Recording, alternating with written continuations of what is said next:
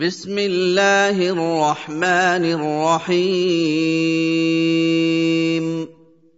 القارعة ما القارعة؟ وما أدراك ما القارعة؟